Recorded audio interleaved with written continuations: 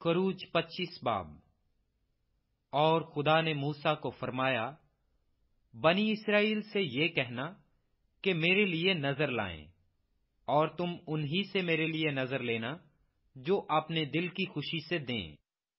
اور جن چیزوں کی نظر تم کو ان سے لینی ہے، وہ یہ ہیں، سونا اور چاندی اور پیتل، اور آسمانی اور ارغوانی، اور سرخ رنگ کا کپڑا اور باریک کتان اور بکری کی پشم اور مینڈوں کی سرخ رنگی ہوئی کھالیں اور تسخ کی کھالیں اور کیکر کی لکڑی اور چراغ کے لیے تیل اور مسا کرنے کے تیل کے لیے اور خوشبودار بخور کے لیے مسالہ اور سنگ سلیمانی اور افود اور سینا بند میں جڑنے کے نگینے اور وہ میرے لیے ایک مقدس بنائیں تاکہ میں ان کے درمیان سکونت کروں اور مسکن اور اس کے سارے سامان کا جو نمونہ میں تجھے دکھاؤں، ٹھیک اسی کے مطابق تم اسے بنانا۔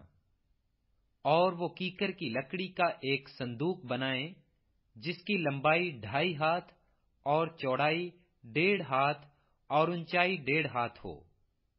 اور تو اس کے اندر اور باہر خالص سونا منڈھانا اور اس کے اوپر گردا گرد، ایک زرین تاج بنانا اور اس کے لیے سونے کے چار کڑے ڈھال کر اس کے چاروں پایوں میں لگانا۔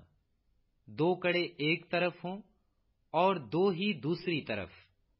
اور کیکر کی لکڑی کی چوبیں بنا کر ان پر سونا منڈنا اور ان چوبوں کو صندوق کے اطراف کے کڑوں میں ڈالنا۔ کہ ان کے سہارے صندوق اٹھ جائے۔ چوبیں صندوق کے کڑوں کے اندر لگی رہیں اور اس سے الگ نہ کی جائیں۔ اور تو اس شہادت نامہ کو جو میں تجھے دوں گا، اسی صندوق میں رکھنا۔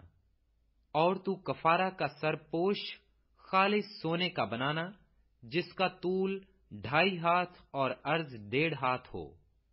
اور سونے کے دو کروبی سرپوش کے دونوں سروں پر گڑھ کر بنانا۔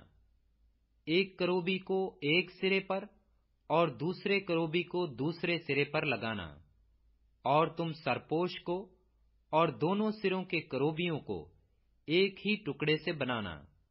اور وہ کروبی اس طرح اوپر کو اپنے پر پھیلائے ہوئے ہوں کہ سرپوش کو اپنے پروں سے ڈھانک لیں اور ان کے منہ آمنے سامنے سرپوش کی طرف ہوں۔ اور تو اس سرپوش کو اس صندوق کے اوپر لگانا اور وہ عہد نامہ جو میں تجھے دوں گا، اسے اس صندوق کے اندر رکھنا، وہاں میں تجھ سے ملا کروں گا۔ اور اس سرپوش کے اوپر سے اور کروبیوں کے بیچ میں سے جو عہد نامہ کے صندوق کے اوپر ہوں گے، ان سب احکام کے بارے میں جو میں بنی اسرائیل کے لیے تجھے دوں گا، تجھ سے بات چیت کیا کروں گا۔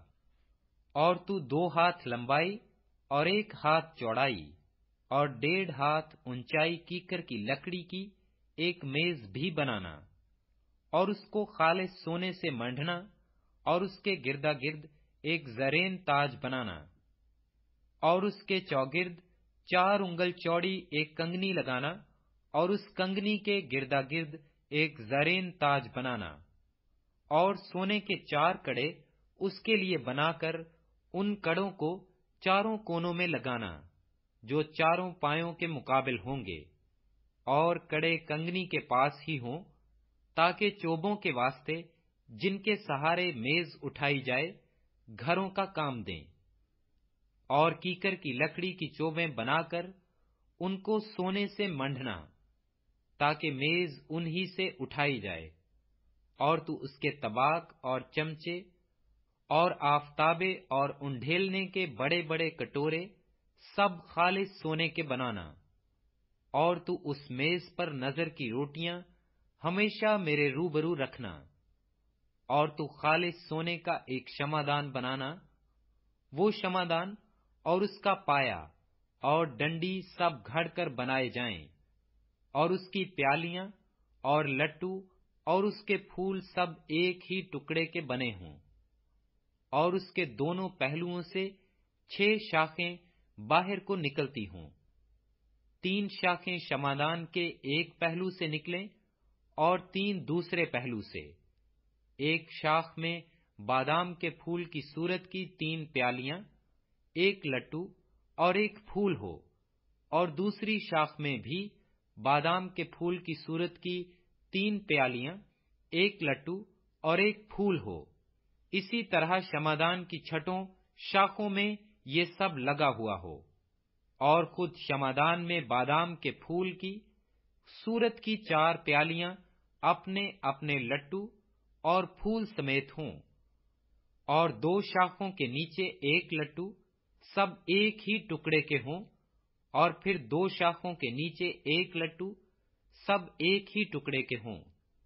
شمادان کی چھٹوں باہر کو نکلی ہوئی شاخیں ایسی ہوں یعنی لٹو اور شاخیں اور شمادان سب ایک ہی ٹکڑے کے بنے ہوں۔ یہ سب کا سب خالص سونے کے ایک ہی ٹکڑے سے گھڑ کر بنایا جائے۔ اور تو اس کے لیے سات چراغ بنانا۔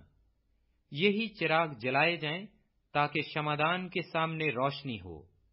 اور اس کے گلگیر اور گلدان خالص سونے کے ہوں۔ شمادان اور یہ سب ضروف ایک کنتار سونے کے بنے ہوئے ہوں۔ اور دیکھ تو ان کو ٹھیک ان کے نمونہ کے مطابق جو تجھے پہاڑ پر دکھایا گیا بنانا۔